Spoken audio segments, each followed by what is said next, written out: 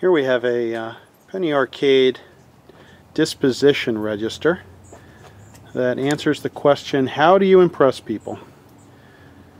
As it uh, says in the sign there, you would drop a penny in and uh, after squeezing the handle and holding it, a uh, one of these lights on the back board would light up and uh, be able to tell you if you were spendthrift or stubborn or noble.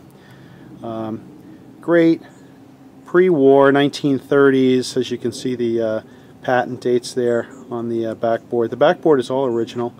Uh, the machine itself has been uh, very faithfully restored. Chrome has been redone. The uh, cabinet's in really nice condition. original or a replacement Esco water decal that matches the original. A replacement back sign, top sign marquee that matches the original and uh, just an overall really nice specimen.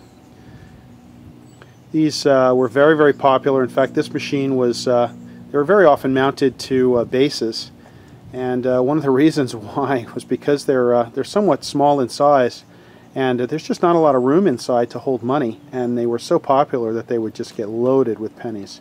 So they would actually bore a hole in the bottom and uh, let the money drop through to a uh, cabinet down below and then these machines would be bolted down. So it was a common fixture. You, there were several varieties of these, um, love meters and so on, and uh, this is uh, again the uh, disposition register. Let's go ahead and play it. It's a pretty simple operation. It is electrical, so it's plugged in. You uh, drop a penny, and when you squeeze and hold, you see the light light up. This indicates, oh, not so good, you're stubborn.